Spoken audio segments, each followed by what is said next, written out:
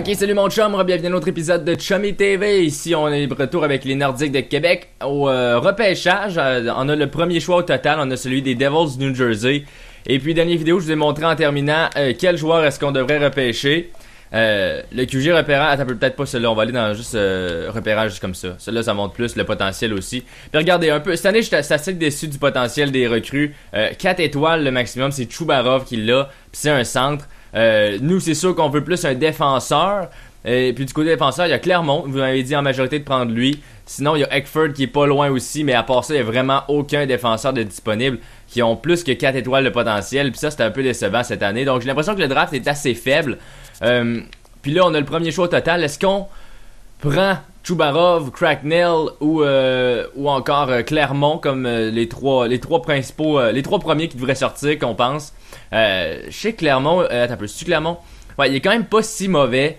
à regarder ses excuse-moi, à regarder ses stats, je pense qu'il serait peut-être un gars qui est 70 d'un haut 60 en partant, mais avec un peu de potentiel comme ça, ça serait décevant aussi. Chubarov, on l'a pas assez scouté non plus, mais il a 75 euh, pas mal sûr en mise en échec. Donc, je sais vraiment pas qu'est-ce qu'il y a de l'air. On peut pas vraiment le savoir, mais il y a un bon potentiel. Peut-être pas non plus. Peut-être que c'est le potentiel est pas précis, justement parce qu'on l'a pas scouté. Cracknell, c'est celui qu'on a le plus scouté. Puis lui, il a de l'air quand même solide. 82 d'accélération, 79 de tir du poignet, qui est certain. Euh, lui, je pense que c'est le meilleur qui est le plus prêt pour la Ligue nationale, ce serait Rich Cracknell. Je pense que si j'avais à prendre un joueur, ce serait lui. Par contre, un premier choix total, je me demande comment ça vaut, puis je pense que je serais prêt à l'échanger. Donc, dans ma tête, le choix que j'ai fait, c'est d'échanger mon premier choix total contre un défenseur qui a de l'allure euh, dans la Ligue nationale. Euh, un défenseur, mettons, comme Aaron Eckblad, peut-être, ça pourrait être intéressant. On va aller voir justement à Winnipeg. Ok, ils sont là. Winnipeg. Euh, je sais pas s'il s'est amélioré ou whatever, mais j'ai tout le temps pensé à lui, Ekblad. Il titre 73, donc c'est quand même très fort. Quand même très cool. Euh, il, est, il, est, pas très bon en physique. Hmm, il est assez bon dans shot. il est pas mal défenseur polyvalent, un peu bon partout. Euh, il a joué dans la Ligue américaine cette année, plus 5, 29 points, donc c'est très bon. Euh, je pense que si on peut échanger Ekblad contre un premier choix au total, ça serait solide, mais je pense qu'ils vont vouloir un peu plus que ça. Mais ça me dérangerait pas de donner un petit peu plus que ça non plus. Euh, on a beaucoup de joueurs qu'on n'aura pas besoin nécessairement. aussi, on peut regarder les contrats. C'était-tu là j'étais? C'était là j'étais. Qui est-ce qu'on va signer Parce que cette année-là, ça c'est... Ok, ça va être ici, donc. Mais que l'année passe, va falloir signer tout celui-là, pas besoin. Lui, pas besoin, pas besoin. Euh, Steve Hott. Est-ce qu'on va signer Steve Hott? Ça, c'est une bonne question. On va voir comment ça va aller. Mais euh, pour vous montrer comme ça aussi rapidement les joueurs, comment ils se sont améliorés. Donc euh, Myers Setchi, toujours 86, Lund, Schwartz, pas mal. Je pense que Schwartz n'était pas 86 à un moment. Il est comme descendu ou quelque chose, c'est un peu plate. Landeskog, toujours 84, puis là il est à sa dernière année de contrat. Donc qu'est-ce qu'on fait avec Landeskog? C'est quand même un des joueurs qui a failli avoir le connaissement quand on a gagné la coupe. Il y a eu des bons, des bons playoffs, il y a eu une bonne saison cette année, je pense, ça peut juste voir là. Euh, 50 points, ouais. 50 points au moins à chaque fois. Marqueur de 20 buts, plus 15 cette année. Et puis l'an passé, 16 points en playoff. Puis là, 2 points euh, cette année. On n'a pas vraiment le choix de leur signer. Par contre, j'aurais aimé ça tester le marché des RFA. Mais je pense pas que les recrues qu'on peut avoir avec Landeskog valent sa valeur. Donc on va signer Landeskog, il n'y en aura pas de stress là. Euh, Justin Fall, qui était pas. Ça, c'est une question là. Quand j'ai vu ça, 80. Il était pas 84 cette année. Là, j'étais un peu déçu. Il s'est vraiment, il s'est vraiment euh, désamélioré, si on peut dire. Il a vraiment régressé Justin Falk. C'est un peu plate parce qu'il avait quand même des pas pires stats. Euh, je sais vraiment pas quoi faire avec Falk. Peut-être que je pourrais l'échanger contre un joueur à peu près semblable à lui, un défenseur, parce que juste 80, je trouve ça assez décevant. On a Steve Ott, est-ce qu'on leur signe? Je ne sais pas. Euh, Brennan est rendu 80, Biggs 81, Alexiak 82, McNabb aussi 82, donc c'est bien. Euh, Ennis est toujours 80. Euh, C'est-tu amélioré? 83, je pense que c'est pas mal égal. Wilson 79, Brown 79, Grigorenko s'est amélioré un peu. Euh, il est resté comme ça. En tout cas, il est rendu 79. Westin 79 aussi, lui, il faut le signer. Talbot 78 commence à régresser à cause de son âge. Philippe Dano s'est amélioré beaucoup, 77. Euh, j'adore ses statistiques de l'an passé. 63 points dans la Ligue américaine. Il est à 8e meilleur pointeur. Euh, je pense qu'il faut absolument faire jouer Dano dans la Ligue nationale cette année à 24 ans. Je pense qu'il est prêt. Euh, son assurance est élevée. Il a des bonnes statistiques défensives. Peut facilement remplacer Steve Ott sur le troisième, quatrième trio selon moi. Donc, je pense que c'est pas mal vers ça qu'on s'enligne. Siemens c'est 77. Gauthier Duc 76. Est-ce que ces deux-là on les fait jouer dans la Ligue nationale? J'ai hâte de voir. J'aimerais ça. Euh, Onero, dont il faut leur signer peut-être. Après ça, c'est rien que des petits joueurs. Drouin est encore 75. Donc lentement, mais sûrement, ça en vient. Jonathan Drouin. Mais toujours rien d'intéressant, trop trop. Euh, va rester dans la Ligue américaine cette année sans grosse surprise. Et puis là, il reste Connor McDavid qui est toujours 50 fucking 9. C'est tellement décevant dans son cas. Physique, il pas, pas, pas, de physique, pas de défense, pas de sens non plus. Lucidité, assurance, c'est dégueulasse. Euh, il est rendu à 20 ans.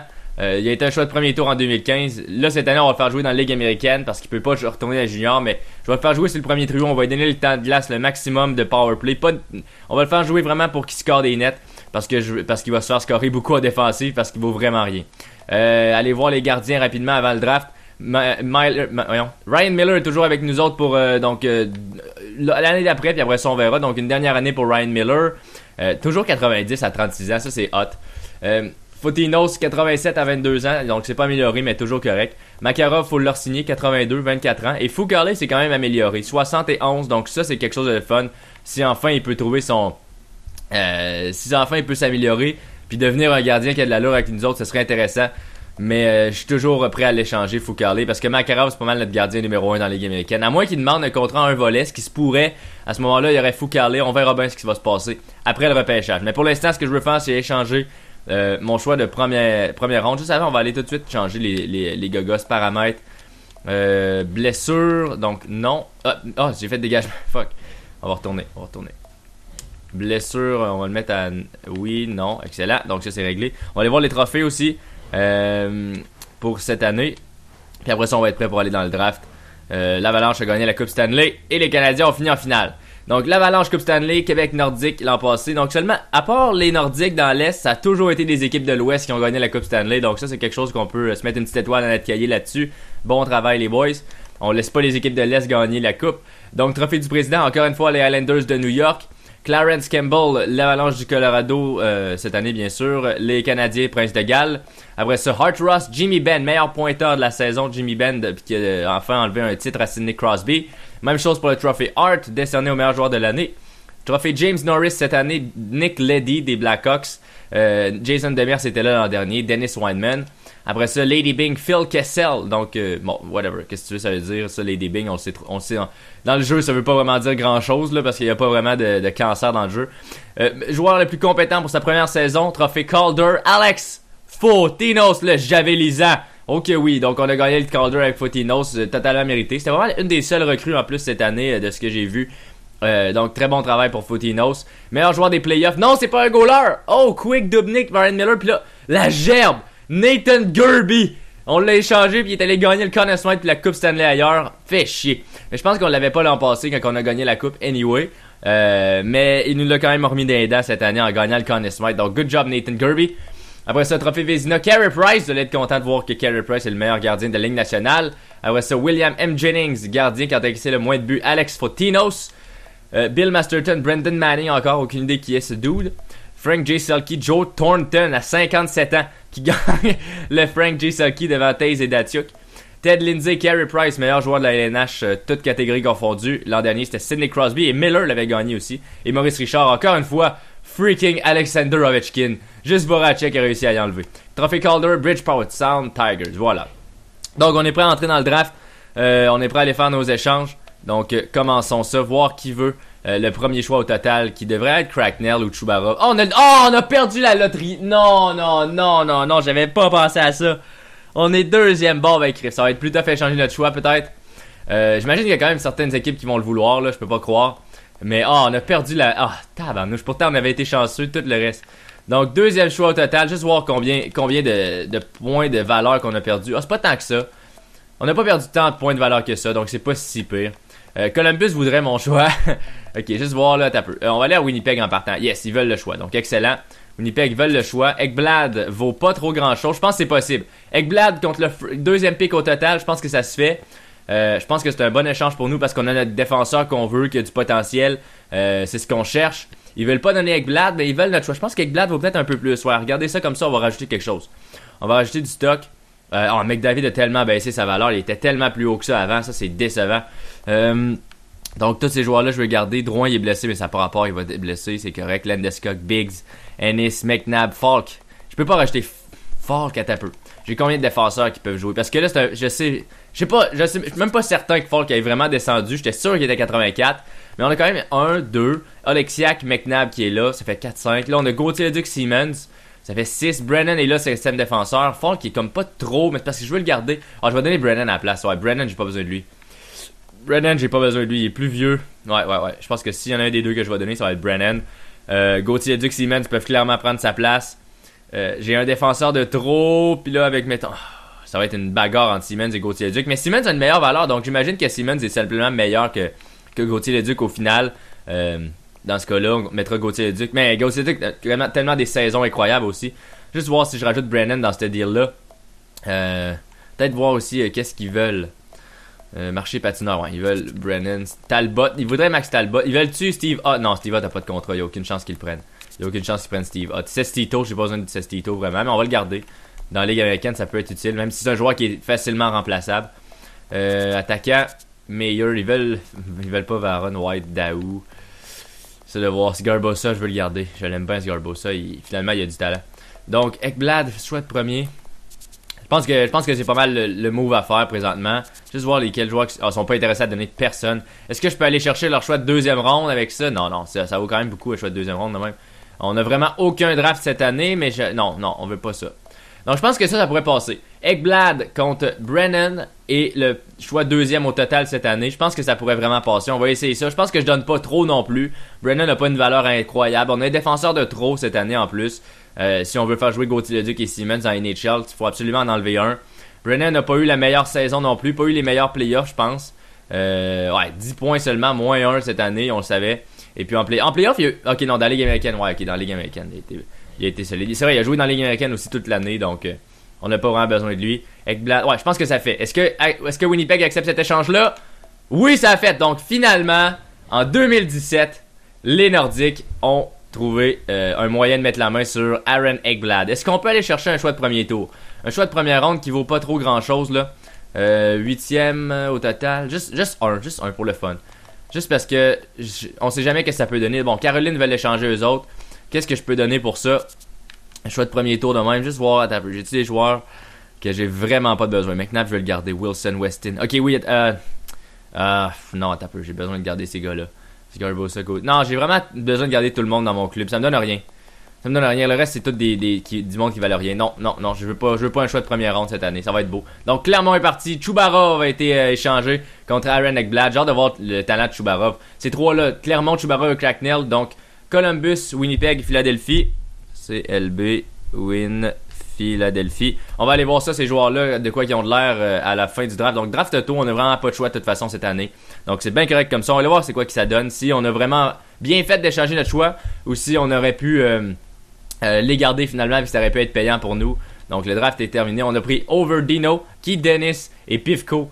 dans les choix cette année. Pourquoi on, était, on avait le 25e Ça, c'est bizarre qu'on ait le 25e parce que pourtant, on a quand même été éliminé assez rapidement. Donc on va simuler jusque-là. On va faire la prolongation des agents libres. On a le temps en masse euh, aujourd'hui, donc c'est cool. Euh, donc Columbus, Winnipeg, Philadelphie. On va retourner voir ces joueurs-là. Voir progression, blablabla. Ouais, voir progression, suivi DG, qu'est-ce qui s'est passé.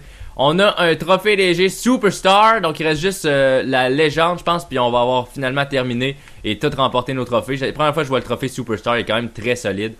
on a donc on n'a pas de points. On a mis recrutement amateur jusqu'au fond. Euh, simulation jusqu'ici, parfait. Euh, non, on s'en fout de ça. Excellent. Donc là, on va aller voir les joueurs. Contrat. Euh, j'ai fait calendrier, what the hell. Calendrier contrat, ça se ressemble, ok? Fait que j'ai une bonne raison de m'être trompé. Euh, donc on était à Winnipeg. Dans 39 d'overall. Lui, là, c'est un stud. Lui, il est malade. 39 d'overall, là, des joueurs, même, il y, en, a pas souvent. Bon, fait que. euh, donc, comment qu'on peut aller voir pour que ce soit simple? On va descendre en bas. C'est quoi son nom? Commence par C. Chubarov, il 66, 4 étoiles vertes de potentiel. Donc oui, il est pas si mauvais que ça. Deuxième au total. Euh, un centre qui gagne des mises en jeu. Ça aurait pu être utile dans la ligue américaine. Mais je pense que Ekblad vaut facilement beaucoup plus que Chubarov. Après ça, l'autre c'est Columbus et Philadelphie. Je pense qu'on va passer par Philadelphie avant de se rendre à Columbus. Euh, ça c'est long. Ok, Philadelphie, parfait. Je l'ai eu du premier coup, excellent. Euh, Cracknell, je pense, ou c'est c'est quoi son nom? Cracknell, ici 66, 4 étoiles lui aussi, 4 étoiles jaunes pour Cracknell. Encore une fois, un centre, euh, un ailier gauche plutôt, euh, solide. Il, est un peu, il est bon un peu partout. Il est meilleur que, que l'autre en défensive, mais il équivaut jamais aux deux autres de tantôt. De 4 étoiles seulement pour, euh, pour Cracknell. Donc je pense qu'on a fait le bon choix encore. Juste voir si Columbus a pris un joueur qui, avait, qui, vaut vraiment la peine. Je penserais pas. Euh, attention, ça commence par C. C'est qui qui a pris? Je me rappelle plus de son nom. Clermont. Vince Clermont. 69, 18 ans seulement. 4 euh, étoiles de potentiel défenseur. Si j'avais eu le premier choix, j'aurais sûrement pris lui. Euh, c'est clairement le meilleur joueur du draft qui était disponible. Mais est-ce qu'il va s'améliorer? On verra. Pour l'instant, il est pas prêt pour la NHL. Puis Ekblad est meilleur que lui actuellement. Donc je suis très content d'avoir fait mon échange. Je pense que ça a été payant pour nous. Donc contrat. Allons sans plus attendre de ce côté-là. Donc qui est-ce qu'on a besoin de signer? Steve Hott. Non, on. Attends on va aller tout de suite par euh, gardien. On va commencer par le début, là. Ok, j'ai Pifco, whatever, on n'a pas besoin de ce gars-là. Toujours signé, toujours signé, toujours signé. Comment tu veux aujourd'hui Andrei Makarov? Au pire, je pourrais. Non, tu veux un volet seulement, un million. Je peux pas te donner un contrat d'un volet parce que tu vas jouer dans la Ligue américaine. Par contre, j'ai Fotinos qui est là, puis. Non, non, non, Fotinos va jouer dans la NHL. Je peux pas le mettre dans la Ligue américaine. Donc, ce qu'on va faire avec Makarov, vu que j'ai euh, Foucault de toute façon, puis je veux pas lui donner un contrat, un volet, on va faire offre initiale à Makarov. Puis on essaiera d'aller chercher des choix de ronde contre lui parce que je pense qu'honnêtement actuellement, j'ai pas besoin de Makarov dans la Ligue nationale, pas du tout. Défenseur. On va aller par général. On a besoin de signer Justin Falk. Donc ça nous fait euh, nos 5 défenseurs si on signe Falk. Sinon, on peut voir comment il euh, demande. Peut-être aller chercher des choix. Il veut 2.3 millions. Il veut 2.2 millions. Euh, ça nous donne quoi? Ça nous donne peut-être un choix de premier tour si on le laisse aller en RFA. Puis on peut faire jouer Siemens et Gauthier le Duc à ce moment-là dans, NHL. Sauf que là, euh, est-ce que ça vaudra à peine? Juste voir, c'est quoi? C'est 2.2 que c'était écrit, offre de compensation. C'est combien qu'elle donne? Ah, pas ça, c'est euh, compensation seulement. On y va pas souvent dans ces pitons-là. Donc 2.2, c'est un, ah, un joueur de deuxième tour, on n'a pas besoin de ça. Non, joueur de deuxième tour, j'aime mieux garder Falk puis au pire le changer plus tard. Euh, S'il avait été 84, Carlick, ça aurait été tellement plus simple. Mais là, donc on va le signer, on va le signer, puis euh, il se battra pour une place dans le gros club. Donc 2 ans, un ans, un volet, 25 ans, ça le mène à 27 ans. Tu sais quoi, je pense que j'aime mieux te donner un an, Justin. Puis en plus, tu veux moins cher pour un an, donc excellent. Un an, je te donne 1,700, 1 million 700 000 pour un an. L'an prochain, tu vas avoir 26 ans, tu vas pas mal avoir atteint ton maximum potentiel. On va voir si t'es bon, si Siemens, si Gauthier Duc te dépasse. À ce moment-là, on prendra une vraie décision avec toi. Donc pour l'instant, un an pour euh, Falk. T'es mieux d'accepter ça. Euh, Corey Frienage, ouais, on a besoin de ce gars-là. C'est notre meilleur défenseur de la Ligue américaine. Si on veut gagner une Coupe Calder, ça nous prend Frienage, donc excellent, 750 000, whatever. Pas bien important. Euh, autre défenseur, Connolly. J'aime bien Connolly. Défenseur offensif, un bon défenseur top 6 dans la Ligue américaine, on va le garder. Euh, je trouve que ça peut être utile. Après ça, Swellentrop et tous ceux-là, vraiment pas besoin de cette gang de tout nus-là. Donc, euh, placer liste des joueurs libres. Là, ça remonte en haut, bien sûr. Donc, brouillard, liste des joueurs libres. Excellent. Même chose ici pour Miltrist, aux joueurs libres. Excellent. Puis les autres, on va les garder vu que anyway, vu qu'anyway, ils sont juste non signés. Puis on verra bien qu'est-ce qui va se passer avec eux l'an prochain. Peut-être qu'ils vont s'améliorer, on sait jamais. Donc, attaquant maintenant. On a besoin de signer Gabriel Landeskog. Il veut 5,1 millions. J'ai combien de millions dans, ma dans ma marche salariale? 15 millions, donc il n'y en aura pas de stress. Je pense qu'on va pouvoir le signer facile. Tu veux 4 ans à 5 millions. T'as 24 ans, ça te mène à 28 ans. Moi, je trouve que c'est bon. Pour un joueur deuxième ligne, même, je trouve que c'est un bon prix. Donc, on va donner 4.8 pour euh, ça. Ça devrait être accepté. J'ai été quand même généreux. J'aurais pu descendre plus que ça, je pense. 4.8, c'est bon. Steve on va attendre. J'ai vraiment pas le goût pour tout de suite. Westin, oui, je veux te signer. Westin, tu veux-tu un contrat de deux volets en plus? Non, un volet. 2 ans, ça te mène à 27 ans. Ça te met 1.7. Tu veux autant que, que Justin Falk, man. T'exagères un petit peu, je pense. Donc, mettons que je te donne 1.550 à 2 ans. Ça te baisse de 200 000. Ouais, on va essayer ça pour John Weston. On le veut quand même avec nous autres. Après ça, on descend. On descend UFA Only Rule. On va le signer pour la Ligue américaine. Un bon policier. Notre seul de l'équipe. 2 ans, 780 000. Hey, ok, non, j'avais deux volets, je pense. Hein. Euh, c'est un an, deux volets ou deux ans, un volet? Je sais pas qu'est-ce que j'ai fait avec lui. Je pense que j'ai été correct. Euh. Ouais, c'est ça, c'est correct. C'était deux volets, excellent. Euh, hey, tu, veux, tu veux donner beaucoup, toi, man, du Garbosa. On va se calmer un peu. Je vais te donner 700 000 seulement. Là, le 760, c'est un peu trop. Vous exagérez, boys. Après ça, Brandon Yip, on va le signer. Pas de stress avec ça. Bon, le bon capitaine de la Ligue américaine.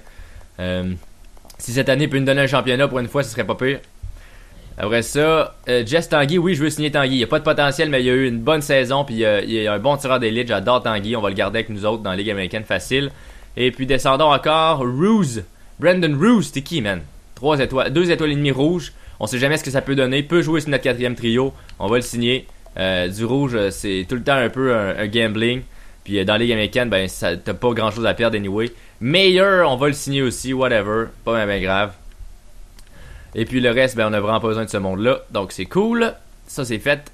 Après ça, donc là, il va vraiment rester euh, seulement à signer Steve Ott ou pas. Euh, je pense que Dano est prêt. Je pense qu'on a déjà nos 12 attaquants. Je pense que Steve Ott peut partir. On peut lui dire merci du, travail rendu. Il nous a donné deux coupes. Il nous a aidé. Des fois, à tort et à travers. Il a été des fois utile, des fois moins utile. Donc, euh, donc Justin Falk a prolongé. Landeskog aussi. Yip. Tout le monde, tout le monde, tout le monde. Qui qui a pas prolongé? Y en a-tu un qui va me faire chier cette année? Non, tout le monde a accepté. Parfait. Tout le monde est gentil avec moi. 9 millions en plus qui nous reste. On pourra vraiment signer un agent libre euh, facile. Donc, Steve Ott, merci beaucoup ce travail rendu. Mais cette année, tu vas aller trouver du travail ailleurs ou tu prendras ta retraite. Il serait temps. T'es rendu à 34 ans. On sera pas capable de t'échanger anyway. Donc voilà, c'est pas mal tout le monde. Euh, euh, sauf peut-être, il reste encore Makarov. On verra comment ça va aller de ce côté-là. C'est combien qu'il demande? Juste demain pour le fun. Il demande 1 million pour un an seulement. Donc c'est ça le problème, c'est qu'on n'aura pas grand chose pour lui. Euh, je suis timide de le chat. De... Ah! Ouais, oh, on va attendre encore un peu. On va attendre encore un peu, voir comment ça va aller. Puis on le signera à ce moment-là, rendu euh, dans la période d'agent libre. Donc avant de terminer le vidéo, on va aller voir les agents libres justement disponibles. On a 10 millions quasiment. On peut signer deux bons joueurs, euh, des défenseurs. Je pense à des défenseurs si on veut gagner la coupe, ça nous en prend. je sais que là, j'ai donné un contrat à Falk, ça nous fait 7 défenseurs qui peuvent jouer dans la NHL. Mais euh, c'est plate que j'aimerais ça faire jouer Gauthier Duc et Siemens. Mais tu sais, si on peut aller chercher des défenseurs 85 de général, euh, je pense que ça vaudrait la peine d'y aller.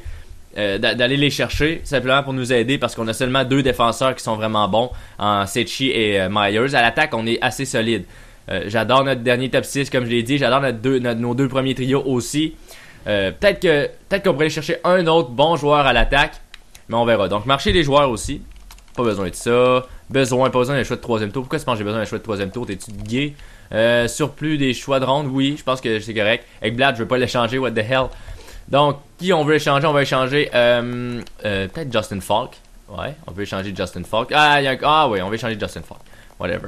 On veut échanger Ryan Miller, si quelqu'un le veut. Et on veut échanger. Non, pas Pomainville, on veut pas échanger ça non plus. On veut garder ces joueurs-là. Le reste, je les aime pas mal beaucoup. Juste voir, peut-être Drouin, parce que c'est vrai qu'il nous aide vraiment pas. Euh, Drouin, Ekblad est là, solide. Ekblad, McDavid. On pourrait échanger McDavid. Je pense pas certain qu'il va s'améliorer. Anyway, Drouin, ça fait trop longtemps qu'on attend pour abandonner sur son cas. Mais encore là, c'est si. C'est si on veut. Je pense qu'on n'a pas vraiment besoin d'échanger personne de toute façon. On va laisser ça comme ça. Pour l'instant, ah, j'ai fait non. Fuck! Faudra que je leur fasse. Bon, on va aller voir les joueurs libres. Je vais terminer euh, la vidéo là-dessus. Puis je vais refaire exactement ce que je vous ai montré en dehors des, de l'enregistrement. Parce que de toute façon, vous savez pas mal ce que ça va donner. Donc, à l'attaque, attends un peu, juste UFA. Euh, on va aller à UFA, pas se fourrer cette fois-ci. Est-ce qu'on signe Louis Erickson, 31 ans, pour être utile sur notre premier trio? Peut-être. On a Granlund, Schwartz et Pominville qui ont euh, dominé la ligue l'an passé dans les plus et moins. S'il jouerait, ça serait sur le deuxième trio. Ça enlèverait sa place à Grigorenko ou à Ennis ou à Landeskog. Tu sais, je veux dire, on n'a pas vraiment besoin de ce genre de joueur-là. Euh, après ça, mettons qu'on va par attaquant. On peut signer Gerby si on veut. ce troisième trio, ce serait pas pire de signer Gerby, honnêtement. Le joueur qui a gagné le connaissement, j'en viens pas que l'Avalanche l'ait pas re-signé. Ils sont un peu débiles mental. Euh, ça serait pas pire de signer Gerby. Ça serait pas pire. Puis on pourrait gagner la coupe dans la Coupe Calder puis dans la NHL. Euh, sinon, les autres attaquants, Derek Brassard, euh, René Bourque. Non, je ne pas de René Bourque. Euh, juste voir s'il n'y a pas du monde avec un peu de potentiel. Je penserais pas. D'habitude, il n'y en a jamais. Ah, il y, a Max Gortz qu'on peut signer. On va le signer. Lui, il a quand même 3 étoiles et demi. Donc, on va signer Max Gortz, qui a un nom de mâle. 21 ans, Pépin et, Maxime Sémine. Je pense pas. Peut-être qu'ils vont s'améliorer, mais 68. Il est-tu bon, Maxime Sémine? Meneur. Moyen mise en jeu. Euh, il y a des bonnes passes. Il y a des bonnes passes. J'adore. Ah, ok, on va le signer. On va le signer. Whatever. On a besoin de ça peut-être dans les américaines. Donc ça, défenseur. Maintenant, UFA, est-ce qu'il y a quelqu'un qui a une coupe de potentiel? Oui. Oh, Timo Eronen. Et aussi Henrik Tomernes. Est-ce qu'on signe ces deux gars-là? On va vous les montrer. Faites pause, défenseur polyvalent. Euh, Timo Eronen, défenseur offensif. Est-ce qu'on a besoin de ces deux gars-là? Euh, je vais le regarder moi aussi sur pause plus tard. sinon, les vrais défenseurs qu'il y a, il y a Cameron Gowns qui serait intéressant. 5,9 millions qui demande. Défenseur top 4 qui est un polyvalent. Je pense qu'on a besoin de signer une coupe de joueurs ici. Je pense qu'on peut pas. Euh, puis en plus, il est jeune, 27 ans seulement, Guns. Euh, Guns ou Tom Ernest, c'est pas mal mes deux principaux choix. Les autres sont trop vieux un peu. Euh, peut-être Summers, Chris Summers, whatever, on pourrait le prendre. Il a un bon shot, puis il est fort en défensive. J'adore Summers. J'adore l'idée de prendre Chris Summers. Vite de même, je viens de regarder, j'aime bien ça. Euh, après ça, le reste, le reste, ça va vraiment aller pour la Ligue américaine. Mais je pense qu'il faut au moins signer un défenseur de, parmi ceux-là dans le top 4, top 6 qu'il y a ici. Là. Tom Ernest, Summers ou Cameron Gaunt, c'est ce que ça nous prend avec les Nordiques. Euh, attaquant, juste voir dernière, euh, dernière fois rapidement, je penserais pas. Je pense qu'on est correct. Euh, si jamais on a besoin, on reviendra signer du monde. Je pense pas qu'ils vont tous partir.